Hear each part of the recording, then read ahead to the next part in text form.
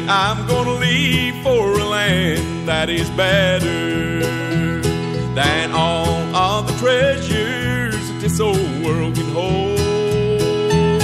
I'd like to sit down by the cool crystal river and spin endless ages beginning no end. No eyes have not seen or can we imagine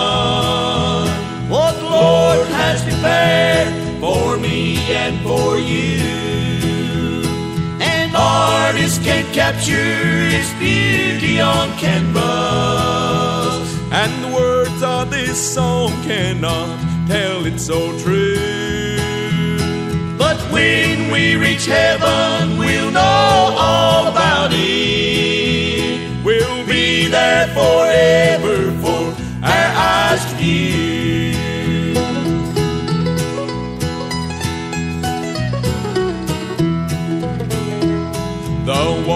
of that city are like unto jasper. The foundations of jewels are precious and rare. We'll have need of nothing, not even a candle. For he is light in that city so fair. No eyes have not seen, or can we imagine and for you. An artist can capture its beauty on canvas. And the words of this song cannot tell it so true. But when we reach heaven, we'll know all about it. We'll Be there forever for our eyes to view. We'll Be there forever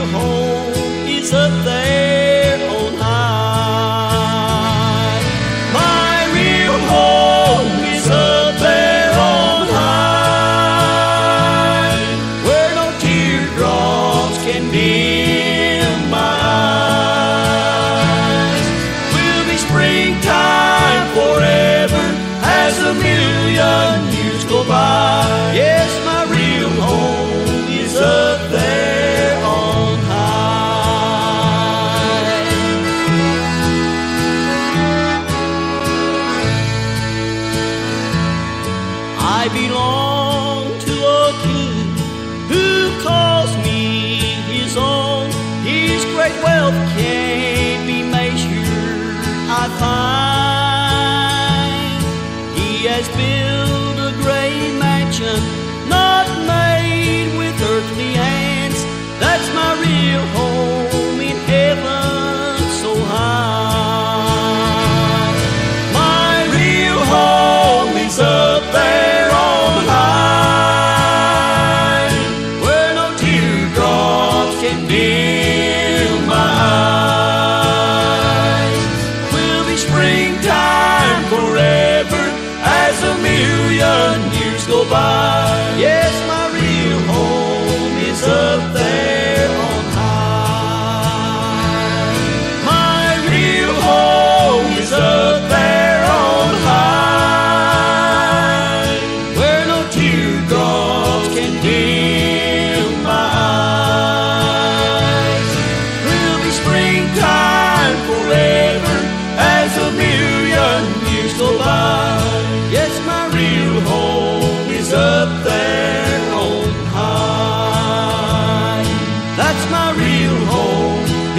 up there on high.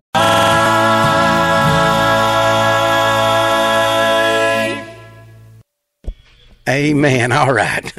Praise the Lord. I've made it back. I'm coming alive slowly. Like I said earlier, I was sound asleep and uh, I overslept, about missed the program. Man, look at what all I would have missed. Seeing all you guys jump in the chat room and be a blessing and just sharing the Word of God and encouraging one another. I see Crystal, uh, my daughter in law, sharing a work experience. Uh, she had today at work. And, uh, you know, one of the hardest things I've had to do uh, is go to work when uh, you just flat don't feel like it. I mean, when the old enemy's just rearing his old ugly head up and makes the work zone just a, a dreadful place to be. But we have to pray our way through. We really have to do that. We have to pray because if we don't, then the enemy wins if we if we pull out and quit. And and I can say this because where I work, I was told my son uh, is not allowed back back there, and you you know that's hard when when when you work for a place that you're told your son's not allowed back, and uh, you know that's hard and uh, I had to pray my way through because I still got responsibilities. I still got I got to pay my light bill. I got to do a lot of things, but it but it changed the atmosphere for me. It changed it changed how I it changed, you know, and uh, I'm just praying that God will allow me to continue to bless my family through the the the work and and get done. And uh, as soon as God says you can go, I'm gone. you know, uh, pray put me in a, a different situation, a different place, you know. But I know what she's talking about, and Brother Boyd talking about the enemy bothering him, trying to, you know, cause him to sin, you know, and you got to rebuke him. Brother Boyd's right. And, uh, you know, you got to just stand up. And uh, I have to do that every day now where, where I work. I have to stand up to the enemy and, and just rebuke him. And uh, just remember that uh, you know, God's given me a, a, a wonderful job. I love mechanicing. I love what I do.